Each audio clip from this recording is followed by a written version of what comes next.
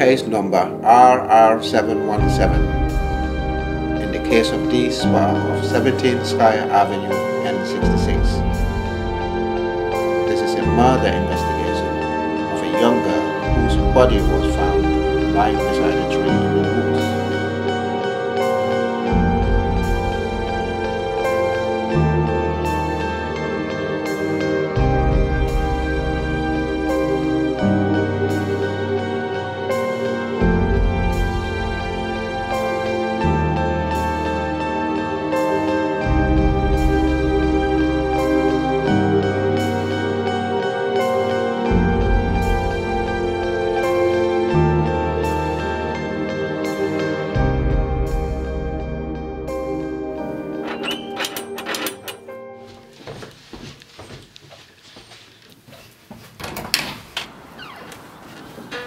Hi, this is DC Hanlin from Northside Police.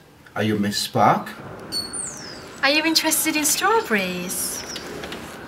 I'm sorry, I didn't mean that. Let me introduce myself. I'm Anna Spark.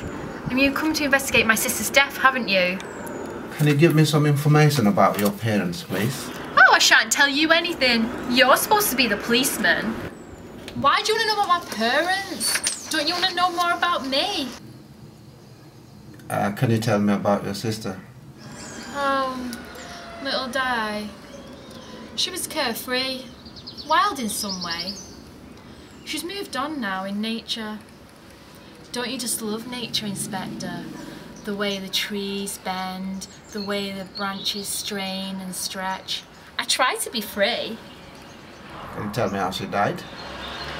Um, she just found lying there, perfectly still under the tree. And can you tell me a bit more about this place? Um, it's just ordinary and natural.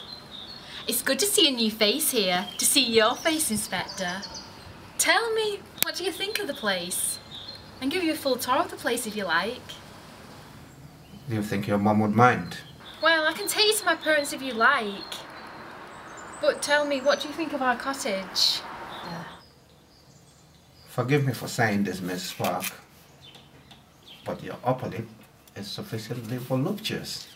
That, in my opinion, your lipstick overemphasizes it. Plus the fact that kissing could be very messy. Try it, Mr. Hanlin, and find out. What's the worst that could happen? Get a red face from where the smack has been. I would love to.